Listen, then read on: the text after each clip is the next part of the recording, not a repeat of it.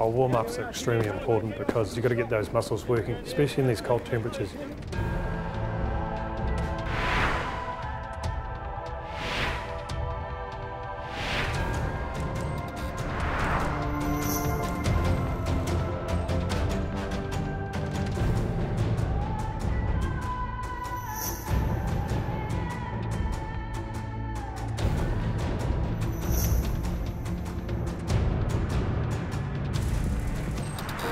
Because of their pool, I think everyone sort of went, okay, they're going to come out of their pool on top. Let's wait and see on who they're going to play. But they've certainly been looked at and analysed. And halfway through, you know, the first couple of weeks, people were starting to question where they're at. But their last game against Tonga, I felt they started to get their game together, got a bit of confidence what they were doing in the second half, simplified what they were doing, and, I think that's pretty good preparation going into this quarter final, which is going to be tough, like a rematch against France and Cardiff. You know, they would have prepared for this, and uh, you know they'll be they'll be focused on um, putting on a performance that'll get them to that next that next level.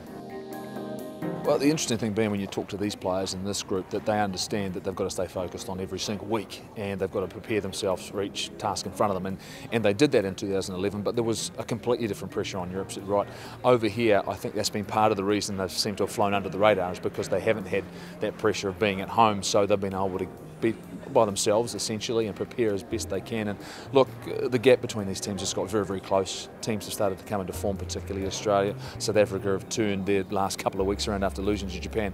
They're playing with great confidence, and of course Ireland last yesterday were very, very good against France. So bottom line, most teams are coming into form at the right time. Now the All Blacks challenge is can they win the big three in a row? I think they know if they prepare and play the way they're capable of playing, then they know they can win this tournament. But essentially, they've, they've, got to take each week as it comes, and they'll keep their eye on the prize, knowing that there's no point worrying about other teams because you don't know who you're going to play. It could be one or the other. So this week it's France. They're well and truly focused on that. If they get that right and they play, as I say, the way they can play, they know that they're good enough to win. So that's the challenge. Uh, and I don't think they've been too worried about other teams. They'll do the analysis, they'll prepare, but in the end, it'll come down if they play like the way this All Blacks team can play, they're certainly good enough to win. He is the greatest All Black. I've said that for years. If you think in the longevity of him and his position and the way that he's played and dominated that position for such a long period of time, I don't think we'll see another Richie McCaw. People will be saying, oh, there's always another one coming up. I don't think we'll see someone who has had such an influence on the All Blacks like he has over the period of time. And just as important, his leadership and what he's created amongst this group is something that the, the All Blacks are going to feed off and believe in for a long, long time.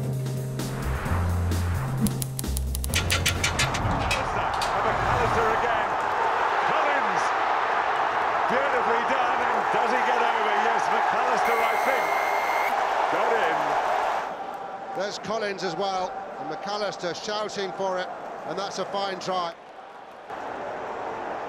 Elissalde, Jauzion, oh, this is Clerc, and in goes Dusautoir, and almost takes the roof off the stadium as the cheers go up. France have breached New Zealand's defence.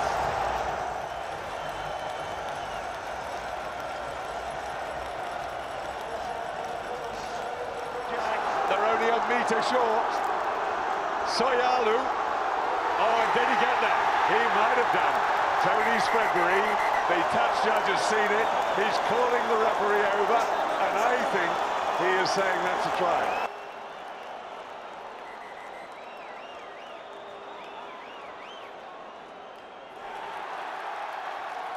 Oh, and in comes Damien Traille, using his pace. Well, it might have been a touch forward, but he got away with it. Michalak, then pass inside, and Jauzion over.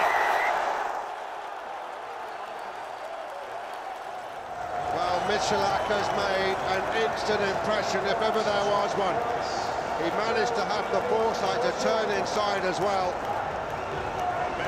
He obviously got a call, but it was great. And France are in the lead, unbelievably Oh, and this is going to be it. Elissalde is just going to run the ball off the pitch into the stand, and France are still in the World Cup. New Zealand look staggered. They cannot believe it. The run goes on.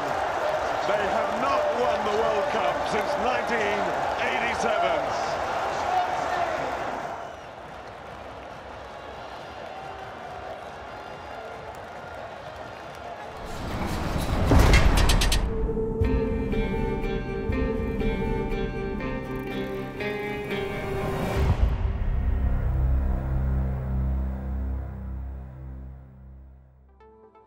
Concussion. I've suffered from it, and we've all heard about it. But how many of us are in danger of ignoring it? Concussion is an injury to the brain. The consequences can be serious and even fatal. If there's a chance you've had one knock too many out there, Use your head and get off the field. Protect yourself and protect your teammates.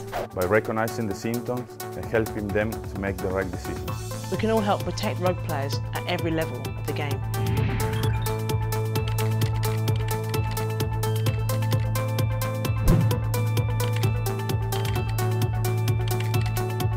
So basically what we're saying is recognise and remove. As a player, you can be your own first line of defense. If you feel any of these symptoms, either in a match or after one, Get yourself off the pitch and get assessed by your medical staff. listen to what they tell you and only get back out there when they say you're ready. That includes training. And remember, take extra care and time with children and young players. Stay off the park for at least two weeks after the symptoms clear. Whether you're a test cap or a club player, The risk of concussion is something we're all in together. Use your head. Recognise and remove.